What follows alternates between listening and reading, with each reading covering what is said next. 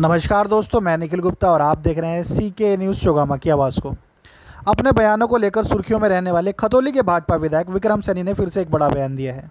उन्होंने कहा कि सरकार चाहे आज ही उनसे उनका इस्तीफा ले ले, पर उन्होंने शुक्रदाल में कुछ ज़मीन ली है और वह ज़मीन पर रहकर आश्रम खोलेंगे और आश्रम में युवाओं को पत्थरबाजों से निपटने के लिए लटबाजी सिखाने का काम करेंगे।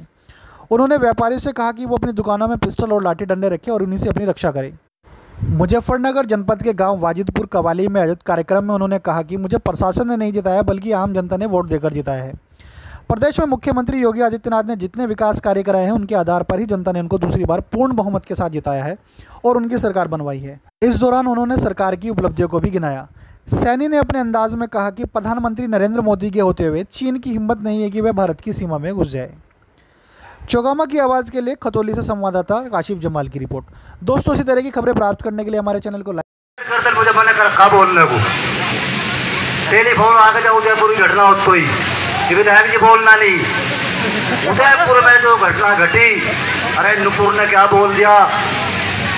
क्या वैसे कहते हैं प्रजातंत्र बोलने का अधिकार है? देवी देवताओं के खिलाफ कितना बोल लो? वो अधिकार है। अगर कोई दूसरा आदमी कुछ कह दे तो गर्दन कट जा गर्दन पचा पचानी होना। तो एक हो जाओ। अभी राजू अहलावत जी का भाषण सुन रहा था जब पर हमने से जान बचाने की संस्कृति तो है। मैं दुकानदारों से भी आह्वान करना चाहता हूँ। चाहे तब पेपर पर छाप दो चाहे टीवी पर दिखा दियो करके कोई फ़र्क नहीं पड़ता। पाँच साल तक मुझे कोई हटा नहीं सकता। आगे मेरी कोई इच्छा नहीं।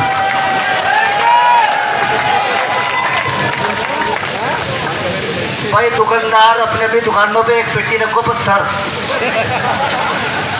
चार पाँच रखो फाड़ लगे बिंटे और दो रखो पिस्टल।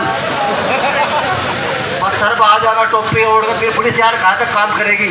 इतनी पुलिस है कहाँ? जब तक पुलिस आ रहे हैं थारी दुकान में माल लगा दे मकान में माल लगा दे। अरे बोलने दो, मेरा बहुत दिनों का नंबर आ गोली चलनी आप पे छुरा चलना इतना ध्यान कर लेना। एक घटना से सारी बात समझ लेनी चाहिए। ये तो जाट गुजर सैडी, फलाने ढिकटे पटे हो आप। हिंदू हो जाओ, हिंदू। देश भक्त बन जाओ। और जब वो समाज जुड़ रहा है, वो भी बन जाए देशभक्त।